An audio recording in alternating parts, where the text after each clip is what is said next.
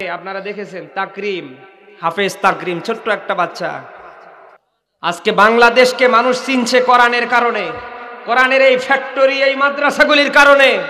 তাদের এত সম্মান, এত মর্যাদা কেন? শুধু কোরআনের কারণে। এই জন্য আলেমদের সম্মান হয় গোটা বিশ্ব জুড়ে। কথা বোঝা যায়। নেতার সম্মান হয়, রাজার সম্মান হয় রাজ্য ঘিরে। আর আলেমদের সম্মান দেশে না কোন রাজ্যে না তামাম পৃথিবী জুড়ে। কারণ কি আলেমদের কাছে আছে কি? বলেন। নিয়ে বলতে হয়, সে কোরআন আমরা আজ অনেকে আছি, মানতে চাই না। এ পর্যন্ত আমরা চল্লিশ বছর হয়ে যাচ্ছে নামাজ কালাম পড়ছি। অনেকে আমরা কোরআনটা পড়তে পর্যন্ত পারি না। অনেকের ছেলে মেয়ে কোরআন পড়তে পারে না। কোরআন শিক্ষা দেয়া প্রত্যেকটা মা বাবার জন্যে মুসলিম হিসাবে সন্তানকে শেখানো ফরজ। আমরা সন্তানকে সায়েন্স, বিভিন্ন টেকনোলজির জ্ঞান দিচ্ছি।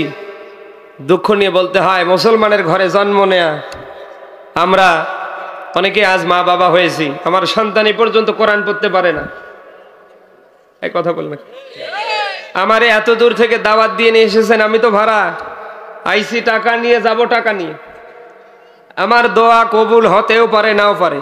এই যে ইমাম সাহেব বসে আছে, উনি ভাড়া। উনি বসে আছে ভাড়া, উনি বসে আছে ভাড়া।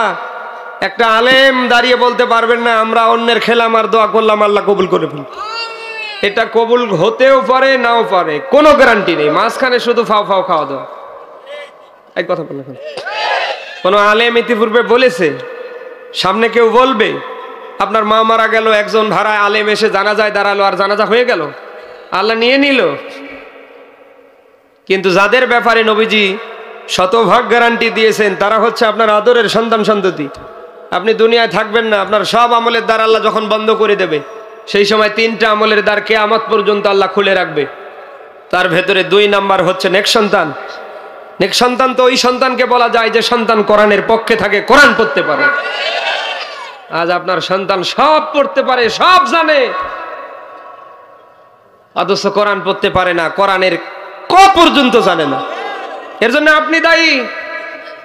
এজন্যই তো আল্লাহর নবী বিশ্বনবী মোহাম্মদ রসুল্লাহ প্রত্যেকটা মা বাবার জন্য চোদ্দটা নির্দেশনা দিয়েছেন। শুধু সন্তান জন্ম দিয়ে গরু, ছাগলের মতো ছেড়ে দিলে হবে না। প্রত্যেকটা মা বাবার চোদ্দটা কাজ আছে। তার ভিতরে আপনার সন্তান যেন মাস্ট বি আল্লাহর কোরআন মেসেজ বার্তা পড়তে পারে। এখানে হাত উঠাতে বললে অনেক মা বাবা আজকে ফেল করে যাবে। এই যে আসিতেছে পবিত্র মাহের রমাদান মাস।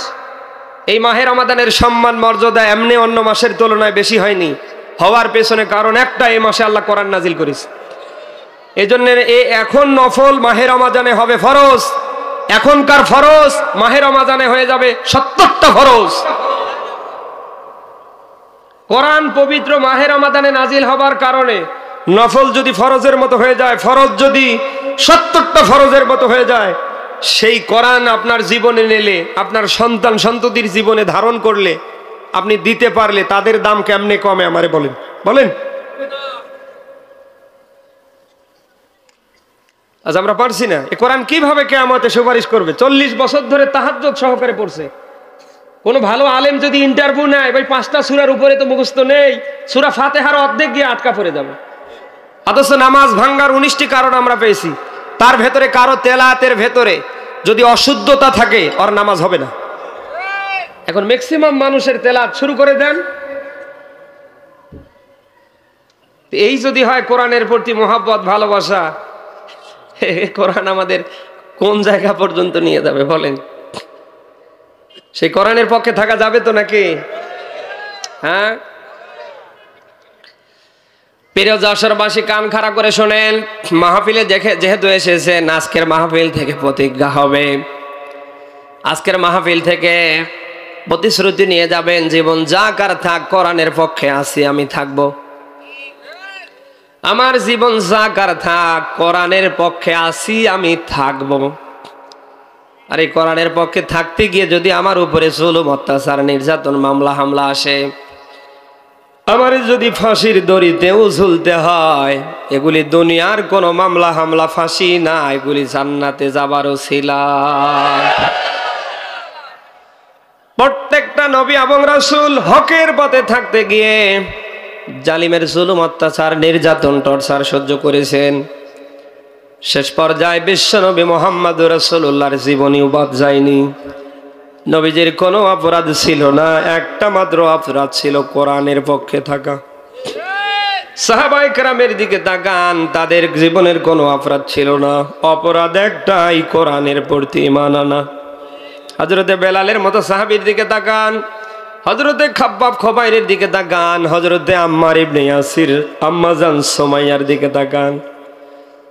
এদের জীবনের কোনো অপরাধ ছিল না, অপরাধ একটাই, কোরআনের প্রতি মানানা সূর্য যত দিন উঠবে আর ডুববে যারা এই বিশ্বনবী মোহাম্মদ রসুল্লাহ সাহবাইকরামের মতো কোরআনের প্রতি ইমান আনবে, কোরআনের পক্ষে থাকবে। নবীজি সহকারে সাহবাই গ্রামের উপরে যেমন জুলুম, অত্যাচার, ইমান টর্চার এসেছিল, আজও যারা ওই পক্ষ নিয়ে থাকবে, তাদের ওপর ওই রকম জুলুম, অত্যাচার, টর্চার আসবে। এটা স্বাভাবিক না অস্বাভাবিক? বলেন!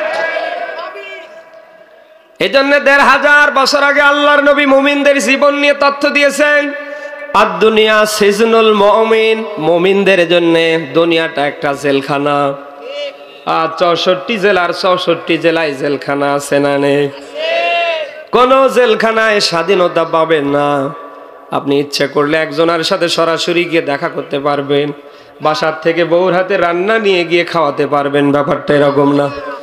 দুনিয়ার এরকম কোন জেলখানায় কারও কোনো স্বাধীনতা নেই। আপনি নিজেকে যদি মুসলিম দাবি করেন, মমিন দাবি করেন, আপনার জীবনেও কোনো স্বাধীনতা। বলেন, ইচ্ছে করলে আপনি ওটা ধরবেন, করবেন। ইচ্ছে করলে আপনি ওটা ছেড়ে দেবেন, আপনি করতে পারবেন না। কারণ আপনার আমার জীবন জিন্দিগি চালবার জন্যে যা যা দরকার, সব আমার আল্লাহ নীতিমালা করে কোরআনে দিয়েছে। একটা মানুষ পৃথিবীতে বিশ্ব জুড়ে গোটা পৃথিবীতে কীভাবে শান্তি পাবে, আখেরাতে কীভাবে মুক্তি পেয়ে জান্নাতে যাবে? পৃথিবীর মানুষের যে বেশি ভালো জানে। কে? আমার হাতে একটা নোকিয়া ফোন দেখতে পাচ্ছেন। যদিও দীর্ঘদিন থেকে এই নোকিয়া ফোন আমি ইউজ করি, কিন্তু আমার যে এই ফোনটার ব্যাপারে জানে মোবাইল কোম্পানি যে ইঞ্জিনিয়ার বানিয়েছে সে। এই কথা বল না কেন? মাইক্রোফোনে কথা বলছি।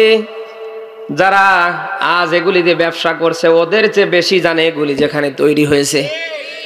যে আল্লাহ আপনারে বানিয়েছে, আমারে বানিয়েছে, ও আল্লাহ ভালো করে জানে পৃথিবীর মানুষের কোন জায়গায় কি দরকার। এজন্য দুনিয়া আখেরাতের কোনোটাই আল্লাহ বাদ দেয়নি। সব আল্লাহ প্যাকেজ আকারে নীতিমালা করে আপনার আমার জন্য আল্লাহ কোরআনে দিয়েছে। মা ফাররাতনা ফিল কিতাবে মিন কোনটা বাদ আছে? বলেন। মেসকাতের আরেকটা হাদিস বলছি, বিদায় হজ্জের ভাষণে আল্লাহর নবী, বিশ্ব নবী মোহাম্মদ সাল্লাল্লাহু আলাইহি সাল্লাম উম্মতদের জন্য দুইটা ভবিষ্যৎবাণী করে গিয়েছেন। নবীজি সেই সময় বলেছিলেন তারাক তুফিকুম আমরাইন।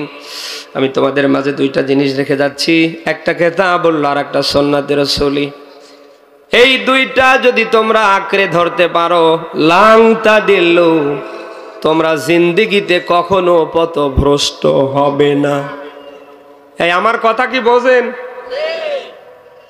দেড় হাজার বছর পূর্বের বিদায় হজ্জের ভাষণে বিশ্ব নবী মোহাম্মদ রসোল্লাহর এই ভবিষ্যৎবাণী এখন মনে পড়ে যায়। আজ মুসলমানেরা পদভ্রষ্ট, লাইনচ্যুত, অপমানিত হবার পেছনে টাকা নেই, দুইটা নেই। আচ্ছা মুসলমান দাবি করছি, শুধু এই যে আগা কেটে আর গরুর বস্তু অথচ মুসলমানের জীবনে থাকার কথা ছিল সংবিধান রূপে কোরআন। মুসলমানের ব্যক্তি, পরিবার, সমাজের সব জায়গায় থাকার কথা ছিল কোরআন। কারণ মুসলমান তো অহংকার করবে, গর্ব করবে কোরআন নিয়ে। নবীজি বলেন, পৃথিবীতে বিভিন্ন দিক নিয়ে মানুষ গর্ব করে, অহংকার করে। আমার উম্মত যারা, তারা গর্ব করবে আমার উপর নাজিল হওয়া কোরআন নিয়ে। আজ মুসলমান আমরা লাইনচ্যুত, পদভ্রষ্ট, ধ্বংস হয়ে যাচ্ছি, যাবার পেছনে আমাদের জীবনে কোরআন নেই। মুসলমানের ঘরে জন্ম নিয়ে আমরা সর্বাত্মক প্রচেষ্টা চালাচ্ছি, কি করে কোরআন বিদায় করা যায়? যদিও এরকম মানুষের যশোরে নেই, টুপি, দাড়ি, জুব্বা দেখলে মানে জান্নাত থেকে পালিয়ে এসেছে। সব সহ্য করতে পারে কোরআনের বিধান কায়েম হবে ওটার মানতে চায় না। ভোটে হুজুররা ভোটে দাঁড়ালে তখন টিটকারি করে। আ, ওরা কেন ওই জায়গা? আজান হবার পরে ওরা নামাজের ইমামতি করবে, মানুষ মারা যাবার পরে জানাজা তিন দিন, সাত দিন চল্লিশা খাবে। ওরা কেন ওই জায়গা? এরকম মানুষ নেই? এই মন্তব্যগুলি করতে পারবে তারাই। মোনাফিক যারা, ওরাই। কোন মৌমিন, কোন ইমানদার, কোন মুসলিম এই মন্তব্য করতে পারে না কেমত পর্যন্ত পারবে না। আমি আবারও বলছি, এই মন্তব্যগুলি করবার ক্ষমতা রাখে তারা। পৃথিবীতে মনাফিকের রক্ত নিয়ে এসেছে তারা। এরকম মনাফিক এই দেশে নেই? আজ হিন্দু, বৌদ্ধ, খ্রিস্টান কোন ধর্মাম্বলীর ভেতরে মনাফিক পাবেন না। শুধু মনাফিকে ভরা মুসলমানের ভেতরে।